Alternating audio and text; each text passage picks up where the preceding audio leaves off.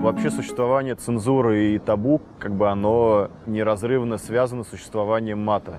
И, скажем так, если будет легализован тот мат, который сейчас считается матом, то неизменно появятся как бы какие-то следующие слова, потому что то же самое, в принципе, произошло со словом «черт», там, может быть, несколько столетий назад, которое сейчас является вполне нормальным словом. Но мне кажется, что в мате есть некая особая фишка, потому что это какое-то что-то промежуточное, что-то между словом и междометием. И когда тебе там падает батарея на ногу, то все равно должно быть какое-то слово, которое должно выразить эту эмоцию. И поэтому мату я отношусь нормально, и к цензуре отношусь нормально, потому что это как бы как две половины одного целого. Раньше у меня была такая достаточно принципиальная позиция, что этого не должно там ни в коем случае быть, но как-то со временем я стал более толерантен, но в песнях практически как бы мата как такового нету. Вот есть одно слово в песне на-на-на-на-на-на, вот, но там это, мне кажется, какой-то такой более арт